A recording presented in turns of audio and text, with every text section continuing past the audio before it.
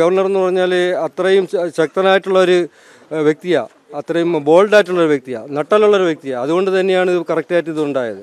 Governor എന്ന് പറഞ്ഞാൽ ചാൻസലറും കൂടെയാണ് ഒരു ഗവർണറുടെ ജോലി എന്താണെന്ന് ശരിക്കും പറഞ്ഞാൽ എനിക്ക് എനിക്ക് വരെ ഇത് ഇത്രയും കുറേ വർഷം മുമ്പ് വരെ അറിയില്ലായിരുന്നു ഒരു ഗവർണറെ കറക്റ്റായിട്ടുള്ള ജോലി എന്താ എന്തായിരുന്നെന്ന്. ഇപ്പം ഈ ഈ പുള്ളി വന്നിട്ടാ ഈ ഗവർണർ വന്നിട്ടാ എന്താണ് ഒരു ഗവർണറുടെ ജോലി എന്ന് കേരളത്തിൽ തന്നെ പലവർക്കും മനസ്സിലായത് ഈ ഗവർണർ ഇപ്പോൾ വന്നതിന് ശേഷമാണ് എന്തൊക്കെയാണ് ഗവർണറുടെ ചുമതല? എന്തൊക്കെയാണ് ജോലി?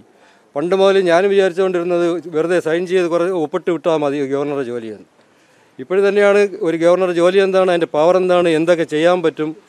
ഒരു നട്ടലുള്ള ഒരു ഗവർണറെ ഇപ്പോൾ കിട്ടി ഒരു കേരളത്തിന് കിട്ടി. എന്റെ അറിവായതിനു ശേഷം അതിന് മുമ്പ് ഉണ്ടായെന്ന് എനിക്കറിയില്ല.